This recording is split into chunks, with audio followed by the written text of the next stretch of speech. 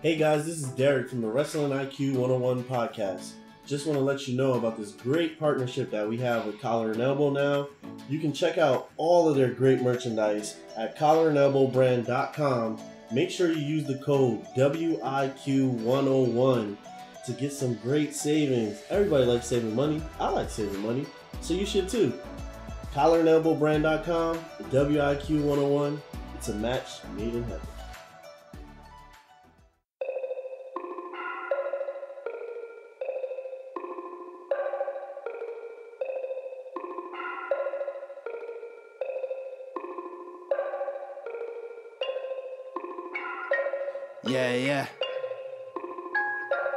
Yeah, yeah. Yeah. Look. Wrestling 101, classes in session. Pay attention to the teachings that's from Andrew and Derek. I mean, these guys making a killing with no competition. Dynamic duo better than the Hardy Boys and the Dudley Boys. Everybody make some noise. Mess with them, you get destroyed. They cannot be beat. Take a seat, watch them do their thing on the MIC. Face defeat, they cannot be seen like JC. Oh my goodness, it's a killing spree. Ladies and gentlemen, this is the diligent one, Corey Dillinger. This is D1 since day one, and you're listening to Wrestling IQ 101. Hey guys, welcome back to another edition of Wrestling IQ 101. I'm Andrew alongside Derek. Yep. And you can follow us on Facebook, Twitter, and Instagram at Wrestling IQ 101. And today we're joined with international manager legend Sonny Onoo. How's it going? Really good, man. How you guys doing? Good, man. Doing great, doing fantastic. so, Sonny, man, what's the juice? How's life been for you? Well, life is good.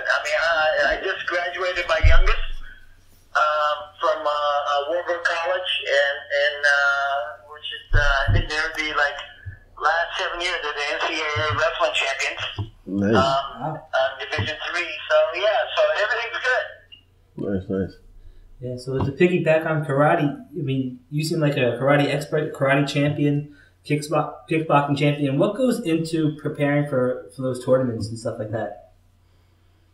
Well, you know, just like anything else, I think I think uh, uh, you know I, I love kakugi, which means martial arts. You know, whether it's MMA or um, you know karate or, or uh, you know boxing, uh, wrestling. Those are all martial arts that I, I think, unlike a lot of other team sports, I think those those in, independent um, individual competition one on one prepare you for life a little bit different than you know team sport um, because you can't depend on anybody and you have to prepare um, you know yourself you know you, you, you, you can't you can't tag off to your partner or you can't pass the ball you know so uh, it's it, it, it prepares you in a little different way those, those uh, one-on-one competition like martial arts Nice. And then, and at one time you were you were highly ranked in the world, like the best bantamweight in the world. Um, can you tell us like like how did you get started in kickboxing? Well, you know, I, I'm originally from Tokyo, so um, um, I came here when I was 11 years old. Um, one of the most, you know, I mean, if, if you if you were from Japan, I studied judo when I was in in uh, uh, uh, Japan, and, and after I got here, so I just continued to, to study martial arts, and and uh, you know, it's kind of stereotype things, but we, you know, I, I enjoyed martial arts, a lot, so I, I continued to study martial arts and and then um, you know I used to compete on a national circuit in the United States between you know in seventies and eighties, and and uh, matter of fact that's that's how uh, you know I got involved in professional wrestling with uh, uh, you know the guy I used to compete back in those days together was a guy named by Eric Bischoff. So uh, uh, you know that's that's just kind of one thing led to another, and you know but. Uh, um, yeah, so I mean, I really enjoy martial arts. Um, uh, it's it's to uh, you know you, you just you just want to go out and test yourself. You know, how good can you be? How good are you really? So you know, I mean, it's something I enjoy doing, and and uh, just like anything good in life, you know, you have you have to you have to take a risk, and and that risk is that you know you can get your butt knocked out on you, you know. Um, but um, I, I, I enjoy the opportunity of being able to knock somebody else out. So nice, yeah. Yeah, The one thing I, I loved about you, man, is that your entrance was always great. You used the camera to take a photo. How did you come up with that idea? Well, you know, this was, you know, I mean, obviously people have done selfie before, but I think, I think what I was doing was that, um, you know, and and being, you know, the the, the, the stereotypical of Asian in general and Japanese in particular are, you know, always taking pictures. You know, their their tours always have a camera around their neck, and and so, you know, I just, I it was just that I wanted to capture the moment, and so I, I would come out and and uh, every time I made an entrance to uh, whether it was Nitro or, or Saturday Night TV taping or uh, any of the pay per views or Thunder, you know, I made sure that that I wanted to capture the moment, and so I would do a selfie. And and you know, look, I didn't invent selfie, but I think I can safely say that you know, um, I was kind of like innovator. I, I made it so that. And I was the only person who was doing it on week in and week out on every television show two, three times a week on uh, all, all the um, you know WCW shows. So um, and I, it just got caught on because I did it every time, and that was part of my entrance.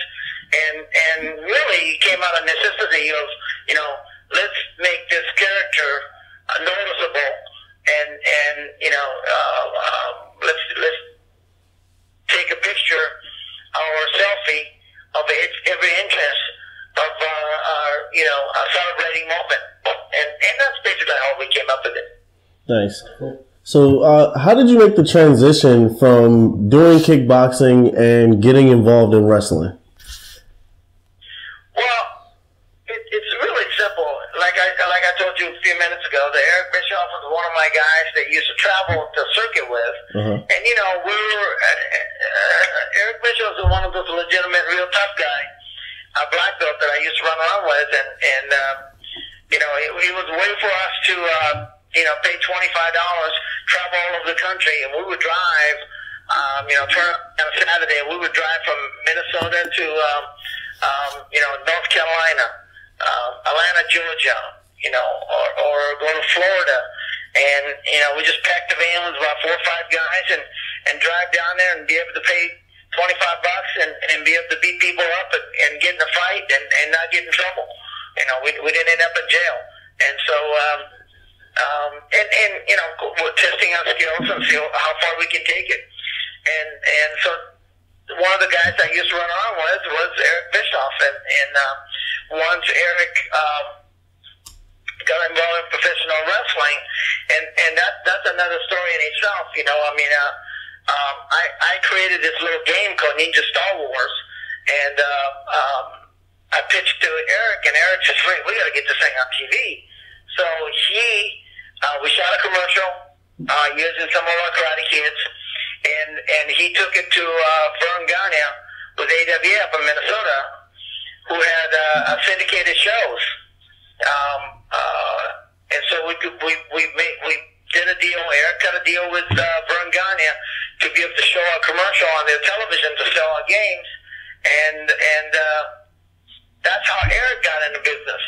And and they, they took one look at Eric and said, "Hey, you're a pretty good salesperson, good looking guy. How'd you like to come and work for us?" And that's how Eric got a job with AWA. And and uh, a couple years later, he called me from Atlanta and said, "Hey, I got to take care of this business in Japan, and and um, why don't you come with me to Japan?" And and um, I ended up going to Japan with him uh, to uh, take care of some business that the prior management had uh, um, didn't do the job really well, so we had to go and make that thing up, and and uh, and that's how I got into business. I was a consultant. I was taking care of business for WCW and, and New Japan. Um, then once we started bringing their talent, uh, the New Japan talent, from Muto to Chono to Jushin Thunder Liger to Masa Saito and their top star like Tanemoto and and and uh, Kensuke Sasaki, Tenzan, all those guys started to come over to you, showing up on WCW television. You know, none of them spoke English, so so I became um, uh, by default I became their um, the character Sonny Onoo, the manager, and and you know, rest is kind of history. Nice. Now, as far as like you said, you used to travel with Eric Bischoff. So with Eric Bischoff, that wasn't a gimmick. He was actually a real tough guy. He actually really knew knew karate. Oh, he did. Yeah, yeah. Eric, Eric, Eric, Eric had, you know, he, he probably. I will tell you that one of the reasons why he was he didn't win a lot of championship, although he won, you know, he won his share of it. Uh, he has kick Eric Bischoff kick kickbox. Uh, matter of fact, you can find him. Um, uh, there's a tape of him fighting on uh, CBS Sports. Um, um, so he, yeah, he was he was a kickboxer as well, and he, you know. Eric Bischoff probably got more disqualified for fighting after the bells and stuff like that, stomping on people. probably more than more than than, than, than, winning a championship. But yeah, he was he, he, he won his his share, but he probably got disqualified of a lot of events that he could have probably won. Oh man, that's crazy. So, Sonny, that's A legitimate tough guy. that's Yeah. pretty cool. Sonny, are you familiar with the indie scenes right now of professional wrestling? Yeah, I mean, you know, I followed, you know, some of the stuff. I, I certainly followed the Japanese guys, Mhm. you know, uh, with like, you know, with, with like Nakamura and, and, uh, you know, a lot of the, I still know some people, but a lot of the guys I used to work with, obviously they're behind the scene now. You know, they're not out, out, out the, they're not out there wrestling anymore like Dean Malenko and, and, and, you know, a lot, a lot of those guys that used to be with the WCW. So, um, you know, um, you know, I, I follow some, some, but mostly I follow, you know, who's, who's out there with the Japanese guys who's out there. Yeah. You know, obviously, like I said, uh, um, you know, there's a few guys out there, and I think WWE being honestly the only place to really work right now um, um, in the United States, you know, th- there isn't too much opportunities for, uh, uh, uh, you know, international talent. But, but you know, they did a good job with um, um, guys like Nakamura-san and, and uh, you know, a few other Japanese, you know, wrestlers. Um, so, um, you know, um, I follow them a little bit, that, that, but that's about it. I don't really follow the storyline too much. Yeah, because you know on June eighth, right here in New Jersey at WrestlePro, you know, Ultimo Dragon is going to go up against Joey Janela. Uh, you know, and you're going to be in the corner of Ultimo Dragon. Um, are you looking forward to that event? Uh, yeah, I'll be there, and and um, uh, you know it's going to be interesting because uh, I, you know uh, I, I can tell you that uh, um, Dragon is, is still one of those amazing international stars. I mean, he's really truly, you know, he just had a Dragon Mania in, in Mexico City. And uh, I think he's right now he's in Cuba. I think he um, and he, he he's you know the, the man truly is an international superstar. Yeah, absolutely. I mean, it was just a few week months, about a month ago. We, we met at SWF, uh, you know, uh, Mega Slam, and, and what a match! You know, him and Titus had. You know, how, do you like doing these smaller shows and conventions like that? Yeah, I mean, you know, uh, one of the advantage I think, you know, uh, advantage and disadvantage. I mean, there's, a, such so many great talent out there right now. Mhm. You know, if you go to WWE event, only problem is it, everything's so controlled, and a lot of talent, you know, you can't really touch and feel those guys. You know what I mean? But if you go to these a lot independent event, because there's so many great stars out there that it's on the independent scenes, that you can go out there and get autographs, talk to them, shake their hands. You know, I think those are the opportunity that that it's out there right now.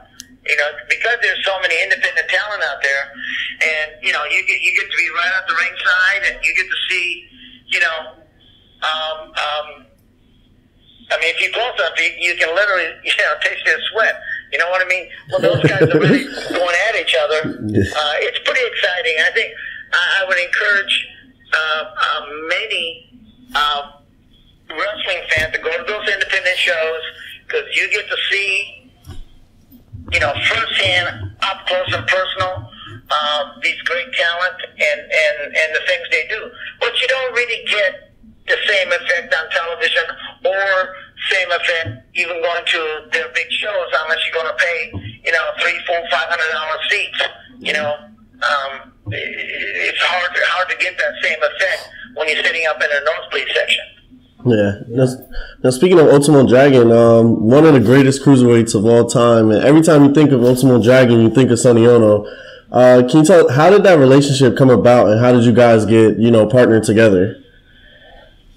Obviously because because um, I mean he speaks sp- Spanish fluently and and and speaks Japanese. Obviously he's Japanese, but um, once again, when you're on American television, you really need a mouthpiece Mhm. for you know some of the talent. For that matter, for you know even even American talent or English speaking talent, you know some of the guys just can't do interviews and can't get you know. Um, uh, and so that's they need a manager, and, and especially for foreign talent, you, you almost have to have a talent on American television because it's you you can't you know you, you know what I mean? You can't get the storyline across, um, and I think you know that that was the reason why I, I you know I, I partner up with the Ultimo Dragon. We've been friends for you know over 25 years, and and uh, when WCW expanded into Nitro and and of course uh, later on Thunder, we needed talent. You know, we need we needed expanded talent because you can't keep watching the same 40 guys. So you know, when when that happened, we brought in uh, a lot of talent from New Japan, a lot of the great talent, and I was involved in you know in, in getting those guys over here. Um, you know, Dean Malenko, Eddie Guerrero, Chris Benoit, Chris Jericho, Ultimo Dragon, um, you know, and and Yuji Nagata. Those guys all came basically the same time when we needed when WCW needed a talent, and and uh, you know, and, and we made a deal with New Japan to get all those guys under WCW contract. So you know, I mean, it, it was a great time for wrestling, and and that's how I was involved with all those guys. Nice. And um, like I said, um, you know, even, even you know, the, even the, one of the probably the best talent out there, international talent, like Nakamura. You know, he's he hits a plateau because he, he doesn't, you know, he can't communicate. Yeah. You know what I mean? Yeah. Um, and I think I think and, and that's that's the you know that's that's the issue that uh, you'll have to somehow overcome.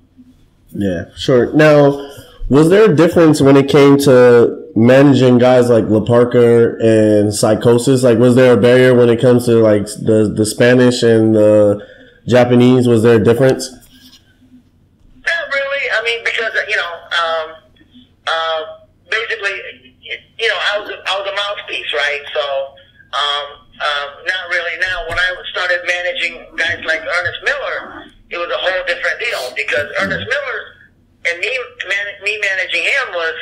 It was, I was more of a sidekick, you know. Obviously, Ernest speaks well enough and can communicate by himself.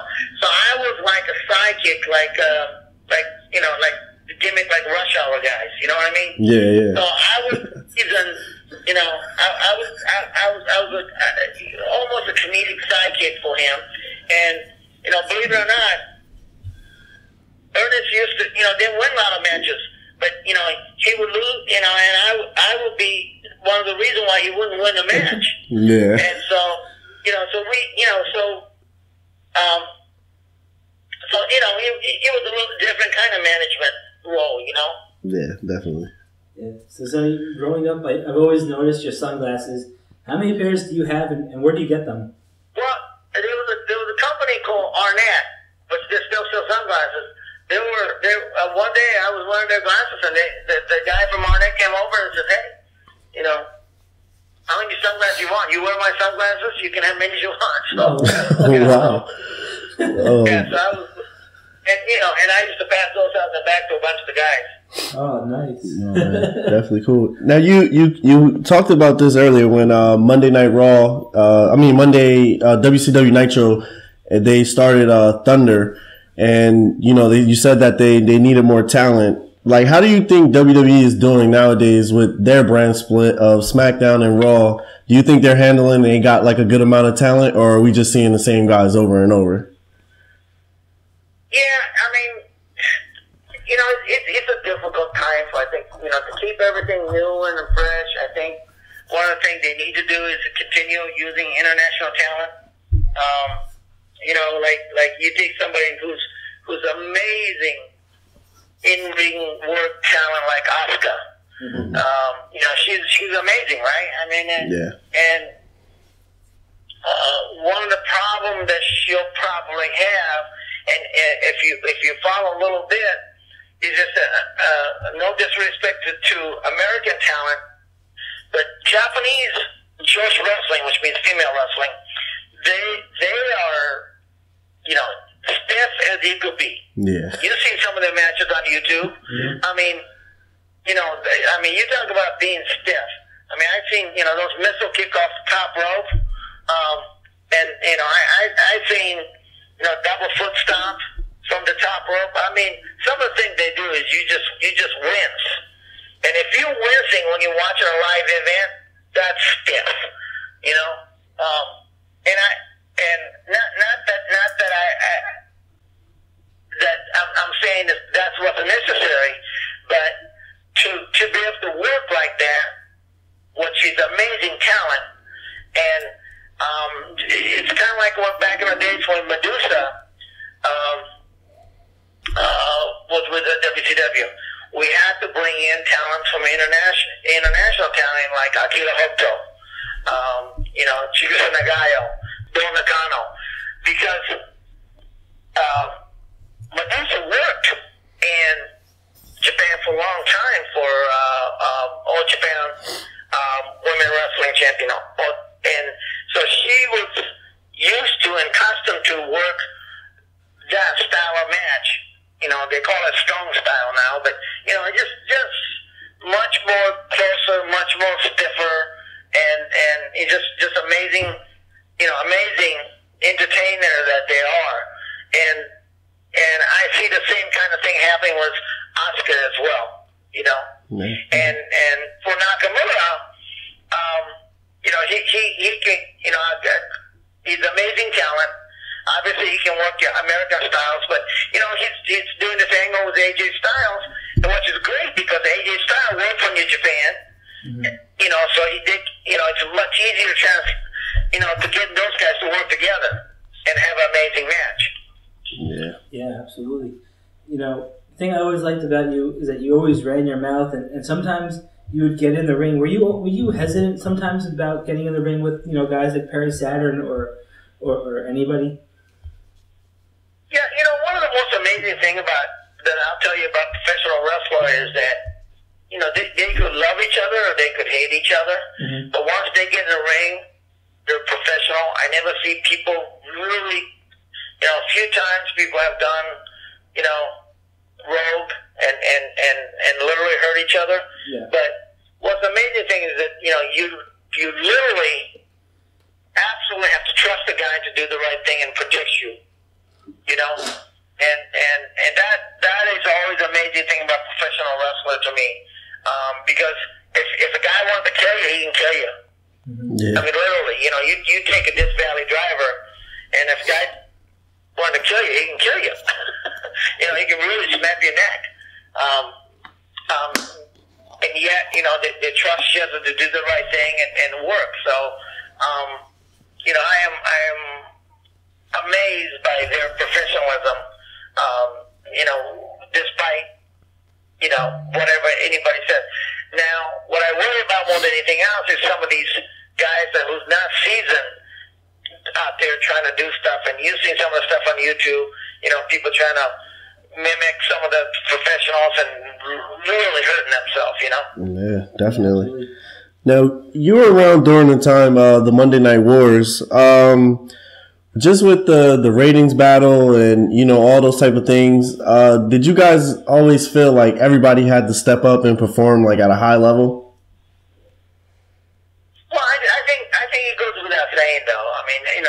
competition, I think competition is good for um, business.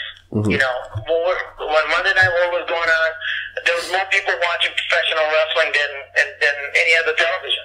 Yeah. Um, it's, it's the best time ever in history of professional wrestling, as far as ratings, as far as for fans, because um, everybody was trying to. Competition is good because everybody's trying to one up themselves, right? Yeah. So, and that's including the talent. Talent getting the opportunity to be wrestle in front of millions and millions of tele- television audience. And if you do a great job and, and people love you, that means that that's a job security, you know. Um, and and not, and and and because of uh, um, uh, having two companies to go to, there was a competition for talent. That means everybody got paid a lot more money, you know. And that's one thing I think Eric Bischoff doesn't get enough credit is that if it wasn't for um, uh, the circumstances that Eric Bischoff has a lot to do with, um, you know, having an opportunity to do the Thunder, uh, having an opportunity to do the Nitro, and having that Monday Night War. Um, because of that, what was going on, I think a lot of the talent got paid a lot of money. Um, it was the best of the times. Matter of fact, once the Monday Night, once WCW was sold and it became one company, um, I think I, I, I know for a fact a lot of people got, you know, they get didn't get the uh, Sony contract renewal or they got their contract reduced. So you know, competition is good for everybody. Certainly for talent, certainly for the fan, and and and and that's it's great for business. Definitely. Yeah. So when you know when Ultimo Dragon came to WWE, were you contacted to come with him, and did you enjoy his run there? Yeah, no, I enjoyed his run. Um, I think it was, I, I think it was a little bit short for him. I, I, once again, I think he probably needed. I was not contacted to come with him, um, but yeah, he could have used. He could have used, like I said earlier.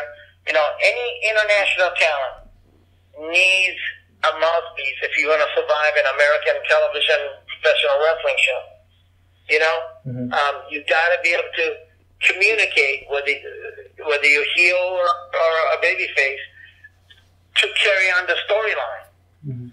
You know, and and even if you speak English, if you don't speak it clear enough, or like you and I can communicate, the problem becomes this: how frustrating do you get? And I get it because English is my second language. But if I get on the phone and I called a a a, uh, a credit card company and some guy in India is talking to me, and I get frustrated because his English is broken, and it's hard for me to understand the broken English because because English is my second language. Yeah. Um, you know, and and so you, you get that disconnect. So if you don't speak English clear enough, so you can understand and and, and communicate with your fan base, then you know that that's a big turnoff very quickly. Yeah. So you know, so you know whether whether you, it's necessary, absolutely. I think you know. Um, I know they don't have a lot of managers and they don't have a lot of valets, but you know that particular skill to be able to communicate for your wrestler, um, I think it's it's it's a you know very important thing that uh, uh, international talent um, certainly almost almost necessary. Yeah. You know, so do you have any fun stories that you can share about being maybe on the road or like any fun ribs? Oh, there's, I mean, there's millions of stories, right? I mean, uh, stuff that I can talk about. Um, I can tell you that uh, uh, uh, Tonga, or uh, was known as a Meng and in, in uh, WCW, Mm-hmm. probably is the, the scariest person in the world. Um, at the same time, he's probably the uh, the best, you know, best guy to have on your side if there was going to be a brawl. Um, uh, you know, and I used to tell people all the time. One time we were in Baltimore, and and uh, um, I, I, I believe this individual was uh, related to one of the Nasty Boys, Brian Knobbs, I think. And he kind of looks about the same size, Brian. And next thing we look is, is that uh, uh, uh, Mr. Tonga has this guy bent over backward over the jukebox Oh with his with his fingers in a guy's mouth and thumb under the guy's throat, and and everybody trying to calm him down. And only person who could really calm him down, Macho Man, Macho Man Randy Savage finally came over and goes, "Hey, hey, you gotta, you know, it's okay. Kind of calm him down, and he just, I, I thought he was going to eat the guy.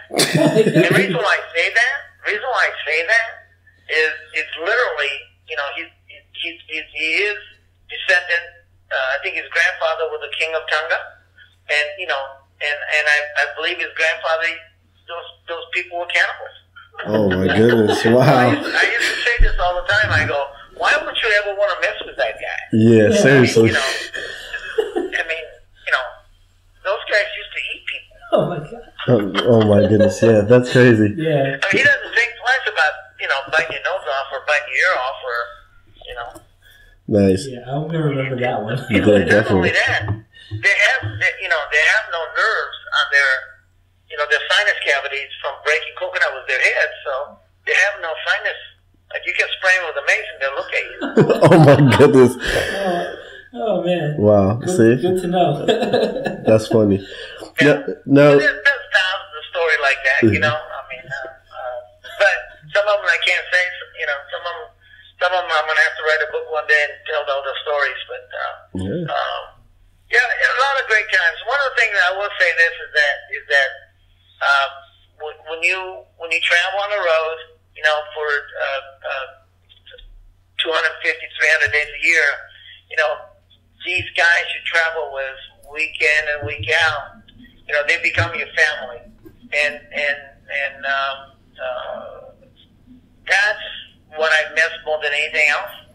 Um, is, is that uh, I, and and that's why I go to these autograph signing and, and and these things that I go. Matter of fact, in weeks I'll be I'll be doing that in New York, um, um, um, in New Jersey on the eighth and 9th, I think we're there. And you know, I get to see my old buddies, you know, and and and and, and uh, so they they all they were for my family for you know many years. So uh, yeah, that, that's that's that's it. You know, I, I don't I don't miss the travel.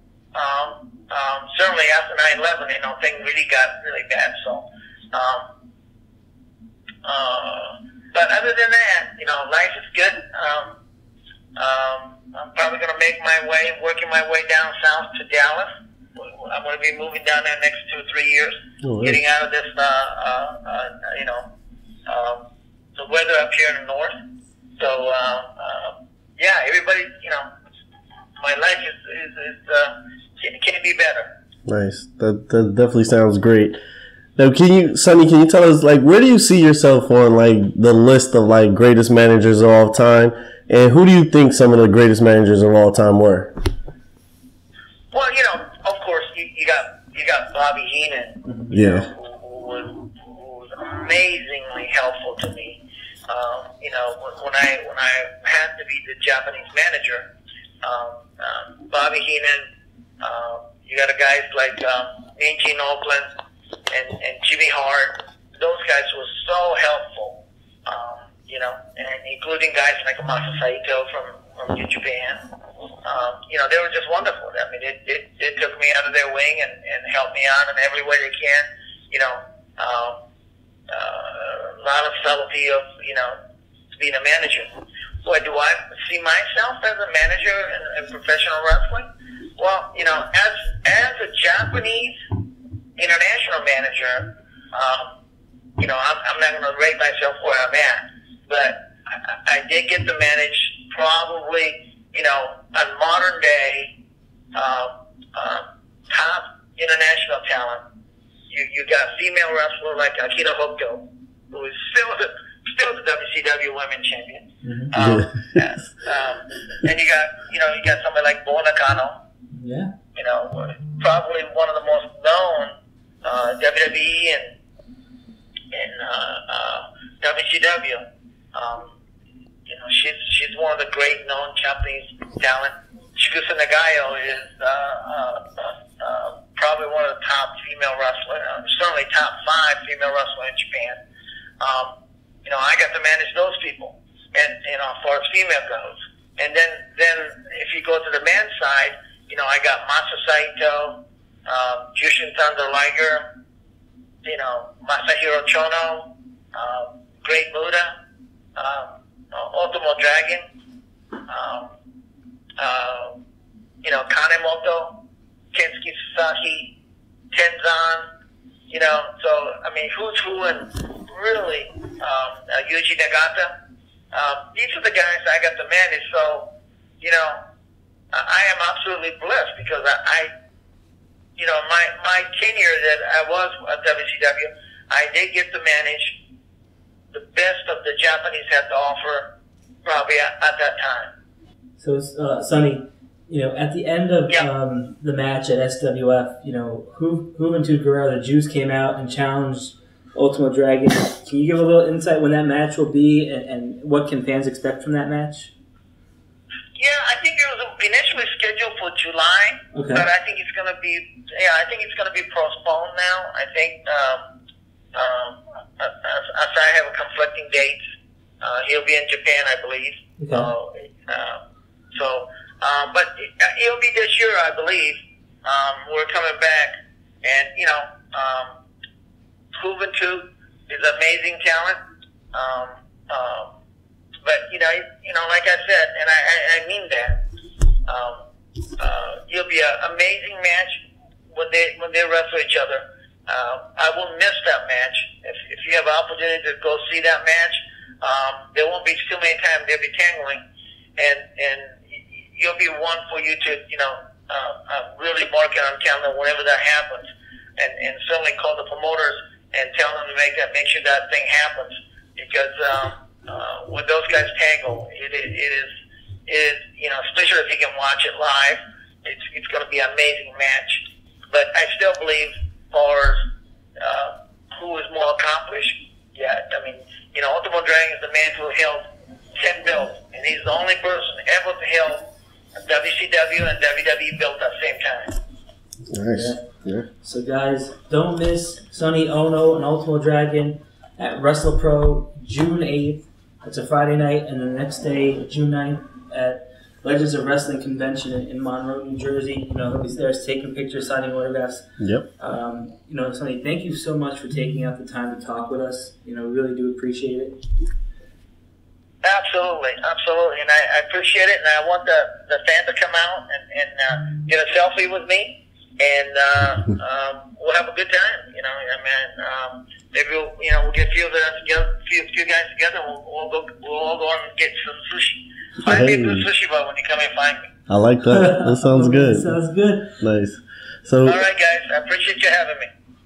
And for us, we are Wrestling IQ 101. You can follow us on Facebook, Twitter, and Instagram at Wrestling IQ 101. And you can listen to us on the B Plus Player Network on all pla- social media platforms.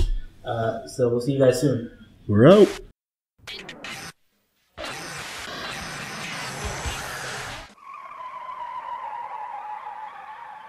You have just listened to the Wrestling IQ 101 podcast, powered by B Plus Player Radio.